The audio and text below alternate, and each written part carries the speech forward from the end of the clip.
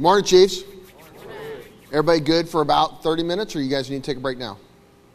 Good? Okay. So we're all adults here. If you guys need to go up, if you guys need to go, go. We'll ridicule you as you walk out and as you walk back in. Um, I know that every single one of you woke up this morning thinking about one thing how do we make more pilots? I know that every one of you, because that's what I woke up thinking about today. Uh, I'm Eric Thompson. I'm the 19th Air Force Command Chief. Uh, and in 19th Air Force, uh, which we have about 20 folks here from 19th, that is 90% of what we do on a daily basis is make pilots. So I'm going to talk to you a little bit. I got a couple of slides I want to show you. Uh, I, I, don't have a wiring diagram. I'm sorry. I can't keep up. Uh, but I, I, I want to talk about what we do, why we do it, and then I want to talk about how we are working together across AETC to do a holistic approach to creating airmen, right? Airmen that fly specifically, uh, and then make sure that we're all capitalizing off each other's gains. So, I, I had a clicker, here it is. For those of you that are TED Talks nerds, this is the cool clicker that they always use at TED Talks, but I always like this one. So, uh, 19th Air Force, yep. Uh, mission and priorities, you guys can get that off the website. So, 19th Air Force didn't, well, really kind of went away for about five years uh, and then started back up about two years ago. This is a lot of words that talks about the fact that aviation training was a train wreck because without a NAF to kind of corral 11 wings and a whole lot of cats moving in different directions, we just, there was so much going on. We had maintenance problems, we had airplane problems, we had discipline problems, we had airmanship problems, we had just straight administrative problems right? So finally, uh, the ATC commander said, enough, I'm tapping out, I need a NAF there again. Started up the NAF, started with 19 people. 19th Air Force now has 265 people assigned to the headquarters. Now, who can tell me why that's weird? Zero to 99. Thank you. Another nerd that has read their PDG enough times to know that without a headquarters A1M waiver, you're not supposed to have more than 99 manpower positions. Um, we do have the waiver. Thank you. All right, so what do we do? We create aviators. If you wear wings in the United States Air Force, you are a product of 19th Air Force. I don't care if you're officer or enlisted. There's also a couple of enlisted AFSCs that fall under us as well. So one Charlie Fives and weapons directors. Anybody, any of those in here? Yeah, and then SERE also falls under 19th Air Force. So where does it all start for us? It starts with how do we create instructor pilots and instructor aircrew members that are going to build the force, right? So we do that at Randolph Air Force Base under the 12th Flying Training Wing uh, and the 340th Flying Training Group, which is one of our total force partners. And then we take young officers, and their first step is introductory flight training out at Pueblo, Colorado. Now, this is actually a contract vehicle. It costs us about $14,000 per pilot candidate to send them through anywhere between a three week and a five week course uh, depending on where they're going, to help, believe it or not, push stick forward, houses get bigger, pull stick back, houses get smaller, right? Push throttle forward, you go faster. These kind of basic aviation skills. And then they go to their undergraduate pilot training wings or undergraduate CISO training, right? So this is their first year of their life where they learn to fly, they learn the, the things that are required as far as flight discipline, academic requirements, crew coordination, working in an aviation airspace like a Class B, Class C, Class D airspace, all of these things that are very important in an aviator, because it's not just about this, right? You can teach a monkey to do this. How do you teach a monkey to understand everything that's going on around them, be able to assimilate all that data and make smart decisions so that you don't put two airplanes in the same airspace at the same time, which is not a recommended technique. Uh, and then after they do their undergraduate pilot training, somewhere along there, they're going to track right, to a specific type of airplane and then a specific airplane, and then they're going to get their assignment, right? So if they're going to go to the MAF branch, to the Mobility Air Force, they're going to track out to a formal training unit at one of these, probably one of these three locations. Uh, if they're going to be SOF, Special Operations, then they're going to go to Kirtland, and they're going to spend some time at Kirtland, and then some will follow on to Hurlburt Field and do some of the training at Hurlburt Field. If they're going to be pointy nosed that go fast and hack their watch and eat all the food at uh, happy hour at the bar, right? That's a fighter pilot joke. I got a lot of them. Believe me, I work with fighter pilots all day long. Um, then they're going to go to one of these places, right? So if you're in 19th Air Force, you're at one of these 11 wings, and you're creating air power every single day. You are generating air power for our Air Force every single day.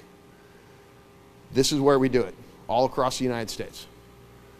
Part of what makes my job great is the same thing that makes my job challenging. I have 17 locations across the United States that I'm trying to keep tabs on and try to touch, get touch points with all of our airmen uh, throughout the year. So it's tough, but it's amazing because we've got folks everywhere doing great stuff. So these are the numbers. I want to go back to Chief Lee's slides a little bit. How many line officers do we assess every year? 1,200, yeah. How, how, how can I make 1,500 officer aircrew out of 1,200 accessions? What are we missing out of that number? What?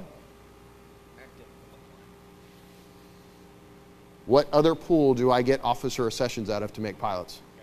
The Academy, United States Air Force Academy, right? Probably one of my largest pools is aviation cadets out of the Academy, right? So you can see I make three different types of general officer aviators. I make pilots, I make CISOs, which are combat systems officers. That's kind of a catch all term for WSOs, NAVs, EWOs, right? Not a pilot, let's put it that way. Uh, and then I make ABMers, air battle managers right? So air battle managers are kind of the ones that are playing the big chessboard game in flight in the back of an AWACS. So they're vectoring airplanes around to try to make sure that we're doing a 3v4. We're always doing a 4v2. You know, we always want to be winning when we do that. I make RPA pilots, make RPA sensor operators, right? And then you can see some of the other breakouts on there to include enlisted aviators. So we have a lot of production, about 25, between 2,500 and 3,000 airmen a year, and I use Big A airmen, get their wings through a 19th Air Force program. So a pretty big part of what we do as an Air Force, and you guys are a part of that engine. That's a terrible slide. I need to get rid of the gray background. Sorry. Uh, what are my priorities? Support the wings. So our NAF is weird because my boss spent a lot of time as Chariot. For those of you that have not deployed and not uh, seen that, Chariot is the call sign for the director of the CAOC in CENTCOM right? So he believes in the chaos concept. He believes that the NAF should exist to support the wings, and if it doesn't support the wings, there's no point in the NAF being there. So we're not allowed to say no, right? We get a check ride every day from our wings, so our wings tell us whether we're doing the job right or not, and we have to justify every single day how we are supporting the wings and how we're doing what the wings need to be done. And if we can't do that, then we need to change our process and get after them. So, great boss, Major General Doherty, he's phenomenal. Uh, so that's the prepared slides. I want to get into what we're doing to kind of make some of this stuff better right now. So how many of y'all have heard of pilot training next? Yeah. All right. So we finished version one. For those of you that have not heard of pilot training next, right now it takes between 14 and 29 months to make a pilot. Think about that for a minute. 29 months from the day they put bars on their collar to being a pilot. They're almost captains by the time they get mission ready and can deploy. If they're on a 10 year commitment, we've wasted 40% of our time. 40%. That's not acceptable, right?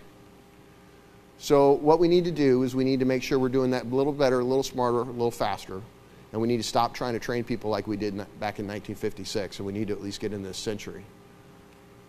So, instead of 12 to 14 months, we said, hey, let's do it in six months. Let's get some AI in there. Let's get some VR in there. Let's do some deliberate instructor to instructor training, right? And let's just break the mold. So instead of 14 months, we did it in seven months. We did it with T6 only. And we have those people in F 16s and F 35 FTUs right now, and they're doing great. That was a pretty big eye opener, right? So we learned some other stuff that we shouldn't do about talent management in a session right? We went right after IQ. Was not the right answer, right? In fact, the smartest person in the testing was the first one to drop out of the class. Maybe, maybe we don't want pilots that are too smart. Maybe we want pilots to be a little dumb. Um, that's how you get them to fly into threats. Version two is going on right now. Much better assessment, right? So we think we're tracking on that one. The, the 20 candidates all made it through introductory flight training. They did a great job and they're doing pilot training next right now. And then we'll do version three down at Randolph a little later on this year. So that's one part of what we're doing to partner with everybody else. The second part is the Airmanship Next program at the Academy that we're working with. So you guys have seen the you guys have seen the gliders and the Cessnas and the jump at the Academy, right? Right? If you haven't, just nod and pretend you have, and then go Google it later. Um, that's how we generate enthusiasm and begin creating professional aviators at the academy level. Now, the question is how do we thicken that pool, right? How do we make sure that the pool of candidates that we're getting in aviation are the best candidates that we can get? And so I'm going to go off on a little tangent here for a minute as we talk about how we select pilots. So I was at an introductory flight training day one class about a month ago. 87 candidates sitting in that class. 87 brand new second lieutenants getting ready to become aviators. Of those 87, 79 of them were white males. There were six females, no, I'm sorry, seven females and one minority. Now, I'm not going after diversity just for diversity's sake. I'm going after the question of who are we missing? Who are we not getting in the aviation world because of the way that we assess pilots? We assess pilots based off AFOQT scores and something called a PCSM score. Anybody heard of PCSM before? So that's your pilot navigator stuff, right? And then we give special bonus points to people who have a private pilot's license. We're going after inadvertently a pretty specific demographic. So we need to reassess that. We need to relook at that. Chief Gudgels up at the headquarters, they're looking at that a little bit. We're looking at that a little bit in 19th Air Force, and we're partnering with USAFA and the Airmanship Next program to widen that base and get more candidates in VR airplanes so that we can go, hey, I know you were thinking about being a comm officer, but man, you're actually really good at this flying thing.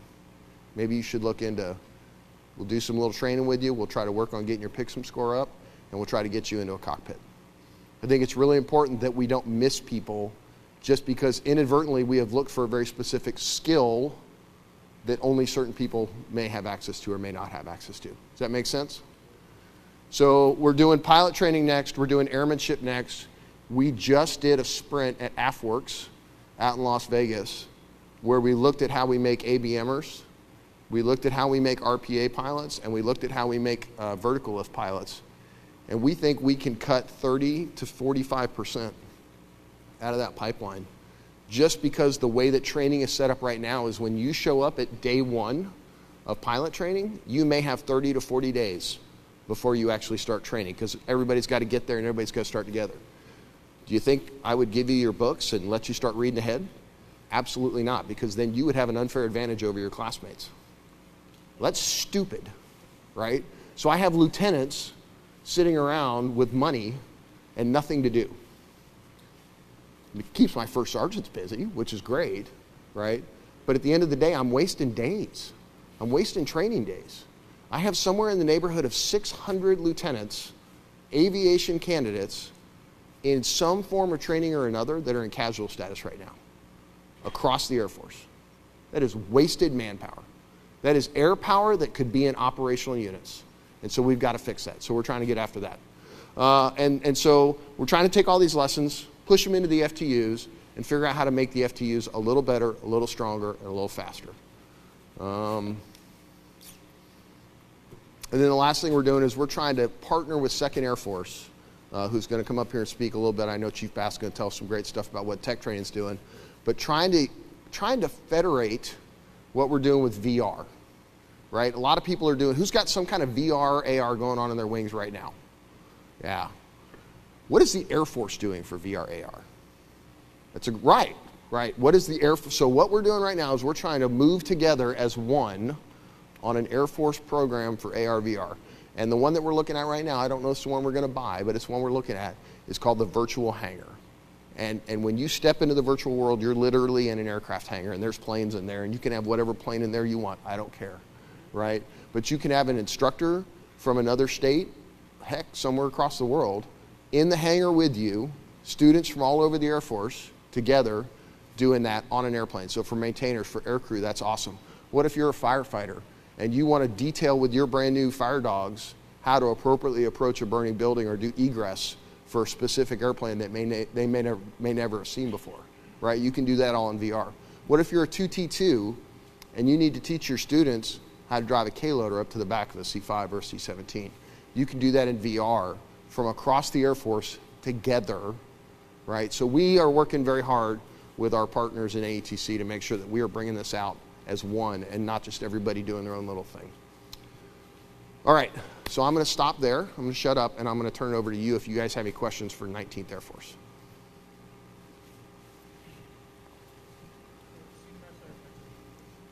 Just a real quick question on, can you give an update on enlisted RPA pilots, future of that? I heard rumors that there's a talk of pausing or reassessing or, So the question, his question was, can I give an update on enlisted RPA pilots in the future of that?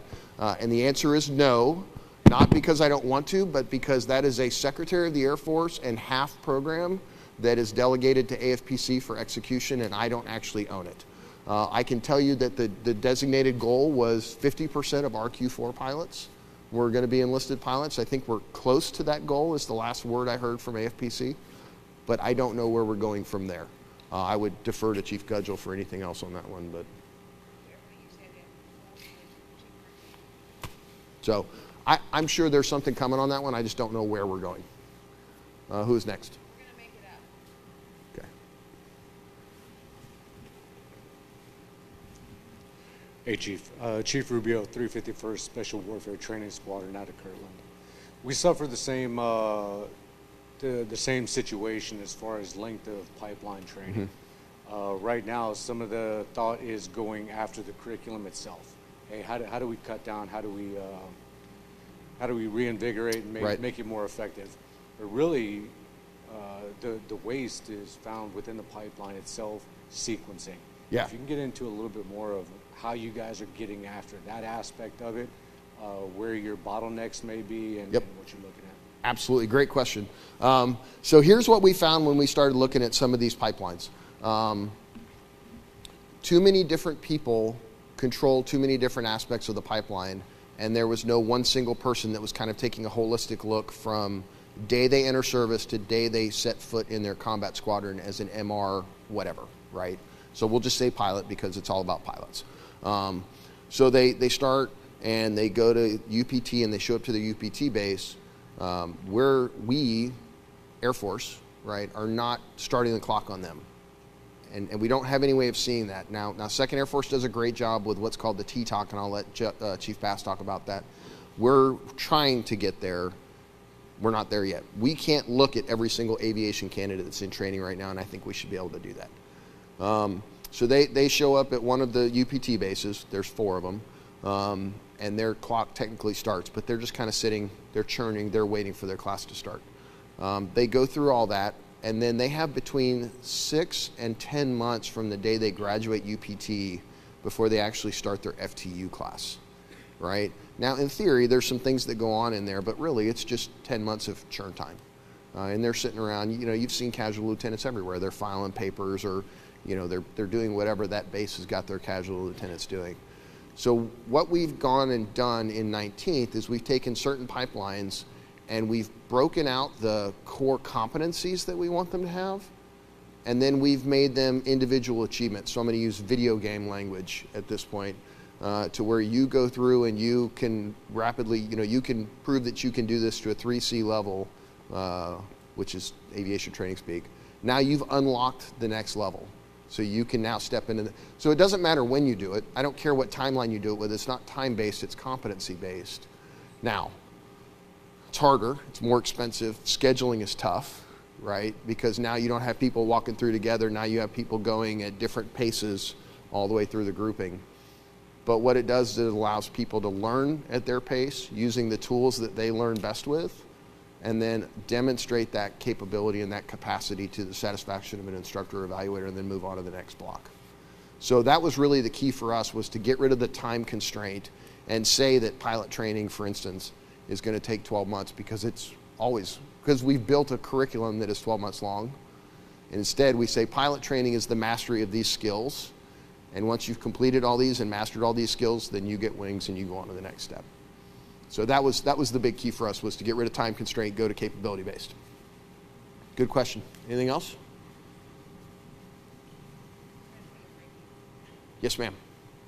Okay, listen, uh, real quick, because I still have two minutes left. Uh, congratulations. Awesome. Being a chief is an amazing thing. Being a part of this level of leadership in our Air Force is an amazing thing. Uh, the reason we're doing this MAJCOM breakout today is for you to understand all the different parts of what the ATC machine does so that you, as strategic senior leaders in our Air Force, can communicate that to your formations.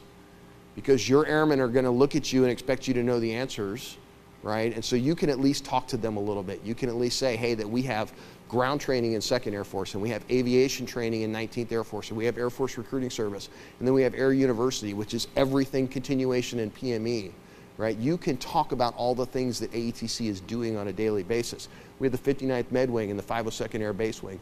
We have these aspects in ATC, and you're a part of that machine. So that's the whole point of today. I hope you guys get a lot of benefit out of it, and congratulations again. Awesome. And Chief Gudgel said you're on break. Be back in 10? 10 minutes.